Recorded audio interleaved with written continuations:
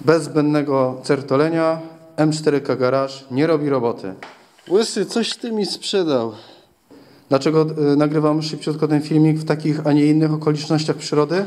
Jest okres przeświąteczny i chcę, żeby to był krótki poradnik dla osób planujących zakup takiego zestawu jako prezent dla początkującego mechanika, bądź żeby zaspokoić własne e, potrzeby. Teraz mam pytanie, czy ja powinienem dalej iść w zaparte? Dobra, szybciutko. Na moje prowizoryczne e, stanowisko prezentacyjne zestaw z Lidla, zestaw M4K Garage i klucz dynamometryczny. A dlaczego? Zaraz o tym trochę więcej. Cyk, cyk. Dobra, pokaż kotku, co masz w środku i dlaczego ja już Cię nie lubię. Zestaw jest jaki jest, każdy widzi. A teraz do sedna, dlaczego uważam, że M4K Garage się nie sprawdza. Dwie rzeczy. Cena. W podobnych pieniądzach możecie kupić przykładowo takiego Chińczyka od Lidla, albo nawet quasi markową firmę, na przykład Yato, gdzie będziecie mieć troszeczkę więcej narzędzi. Z punktu widzenia bardzo, ale to bardzo początkującego e, dłubacza, widzę, że mam dużą grzechotkę i małą grzechotkę. Jak miałem się siłować, to małą grzechotką z czymś takim, gdzie to jest, bo akurat taki miałem e, kurek, nie kurek, nie klucz, Boże, brakuje mi słownictwa, żeby od, odkręcić korek w lewo oleju, to musiałem użyć. Ta mała grzechotka, nie wiem, no pewnie nie klęknie na robocie, ale bardzo wzbudzała u mnie mieszane uczucia, dlatego w pewnym momencie wziąłem sobie jako backup coś takiego, popatrzcie, jest duża, średnia i mała, bo bałem się, że jak to ukręcę, to zniszczę, no to nie będę mógł kontynuować dalej pracy. Nie widzę tu jakiejś żadnej redukcji, więc byłbym generalnie ugotowany. Może jest tu redukcja, ja nie widzę jej, więc dlatego dla mnie to było troszeczkę nietrafione. Ale to, co najbardziej mnie rozczarowało, a akurat do tego w zasadzie kupiłem ten zestaw, to był ten szmaciany e, klucz, nazwijmy to, do odkręcania oleju. I popatrzcie, co się stało po pierwszym użyciu. Ale dupa. Tak to trzasło. E, powiem tak, nie spodziewałem się tego, albo nie tak bardzo się tego spodziewałem, bo e, gdzieś oglądając film Łysego, on przyznał e, przy, przy prezentacji nowej, drugiej edycji, tej 4000 serii, że tu była jakaś wada, wada fabryczna i kilka sztuk wymienili. Kilka czy kilkadziesiąt. Bo ostatnio gdzieś tam Łysy mówił, że część była wadliwa, jak ja na to patrzę, to dla mnie chyba jest cały zestaw 6000 sztuk do wymiany. Ja jeszcze tego nie reklamowałem, no bo chciałem Wam przede wszystkim pokazać, ale co to sprawiło? Ja puszczę e, w najbliższym czasie film z mojej, nazwijmy to przygody, ale tu pewnie dziś pod koniec rzucę przebitki.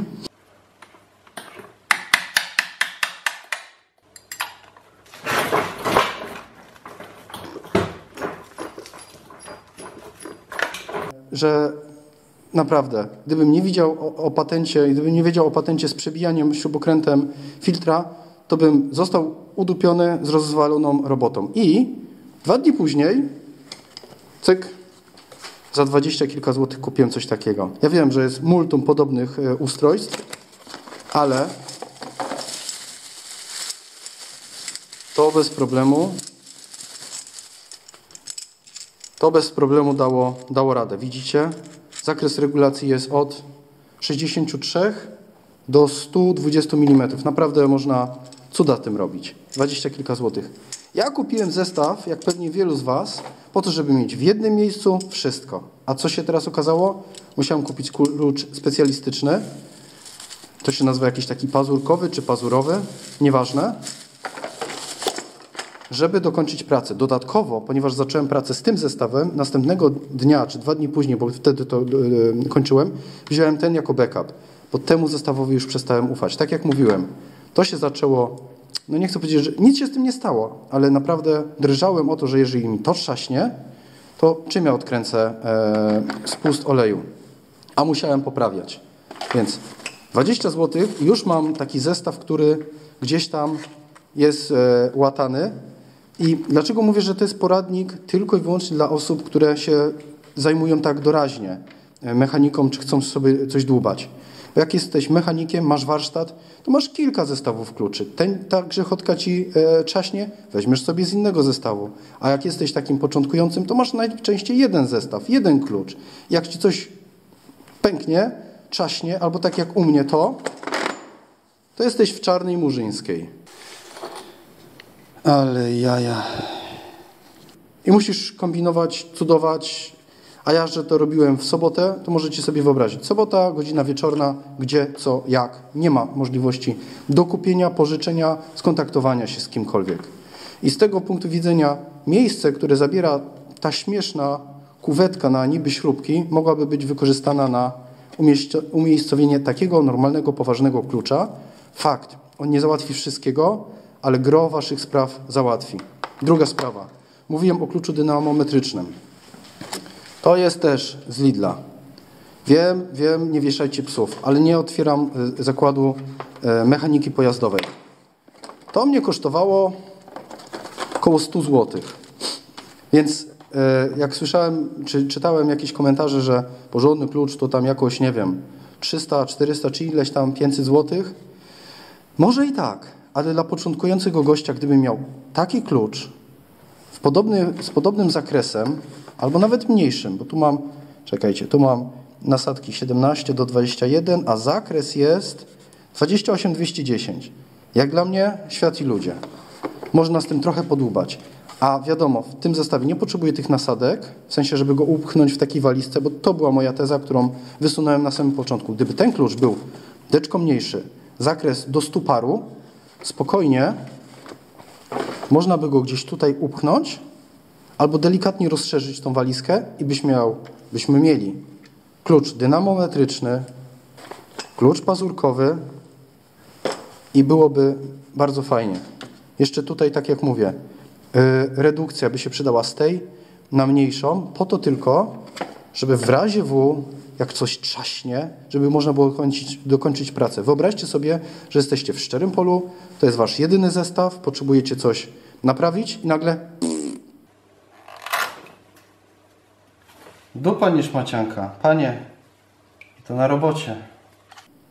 Jesteście e, z rozgrzebanym samochodem, bo załóżmy, coś tam zaczęło stukać, pukać, chcecie to poprawić i to był stan samochodu, który mógł, mogliście, moglibyście kontynuować jazdę, ale jak już, jak go już rozbierzecie, przykładowo nawet z tą głupią e, zmianą oleju, już nie mogą kontynuować jazdy, prawda? Spuściłem olej, fakt, mogę go wlać z powrotem, ale się zaczyna kombinowanie. Filtr, tak jak mówię, zrobię przebitki. Przebiłem śrubokrętem, jakimś cudem udało mi się go odkręcić, ale potem nie byłem go w stanie dokręcić, bo już byłem taki ufajdolony tym całym olejem, że moja siła docisku rękami nie była wystarczająca, bo mi się wszystko ślizgało, a też nie miałem zmywacza. Tak, wiem, mój błąd. Ale z drugiej strony przez to i dodatkowo jeszcze jedno spostrzeżenie.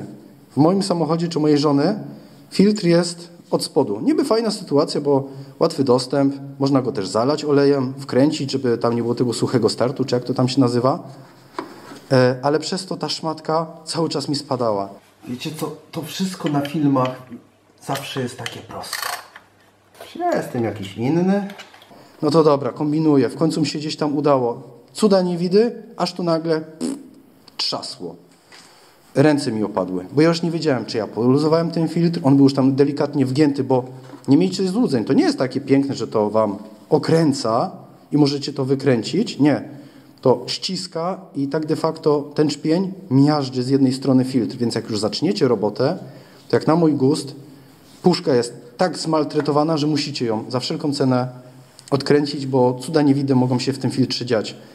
I z tej perspektywy wydałem 369 zł na taki zestaw. Ten mnie kosztował bardzo podobne pieniądze, ale teraz z perspektywy czasu moja rada, moja prywatna rada, jeżeli macie ochotę kupić sobie zestaw, zapomnijcie o tym.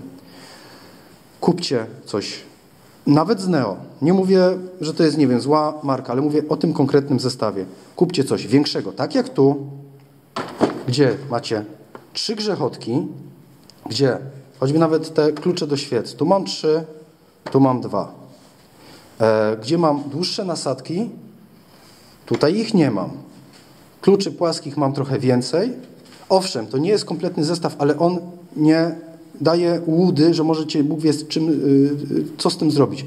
Bo nie zrobicie tutaj serwisu olejowego, bo nie macie choćby nawet takiego klucza za 21 zł. A pudełeczko z całym szacunkiem. Wsadźcie sobie w buty, będziecie wyżsi. Jak y, robicie burdel na robocie, to i takie pudełeczko Wam nie pomoże. A kuwetę możecie znaleźć, wziąć gdziekolwiek. Szczelinomierz w tym całym zestawie fajnie, że jest, ale tak jak mówię, teraz na to patrząc, wolałbym dorzucić stówkę i kupić coś większego, bardziej uniwersalnego, niż pakować się w to i być e, naprawdę rozgoryczonym i dodatkowo straciłem do tego zaufanie. Straciłem po prostu zaufanie, owszem, tylko przez ten klucz, ale tak jak mówię, z małą grzechotką, to ja nie wiem, czy ja daleko zajadę. Reasumując, dorzućcie stówkę, może nawet 150, kupcie sobie większy zestaw z markowej firmy, znaczy markowej, może być Neo.